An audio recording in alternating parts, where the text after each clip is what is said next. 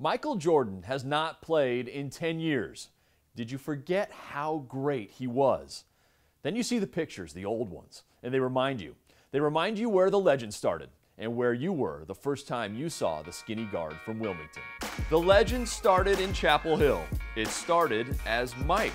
It started at the Superdome against another freshman superstar, Georgetown's Patrick Ewing, in the NCAA final. It was Jordan's shot that won it. From there, the legend grew and grew. Collegian, Olympian, sensation. And the game winners like elevating over Ehlo, just as he'd done again and again for the Tar Heels. Then came the rings. The high flying lay in, switching hands against the Lakers. We saw the way he could finish with the left, like against NC State. That form on his jumper, it never changed from his Tar Heel days, only got better. He won titles with it.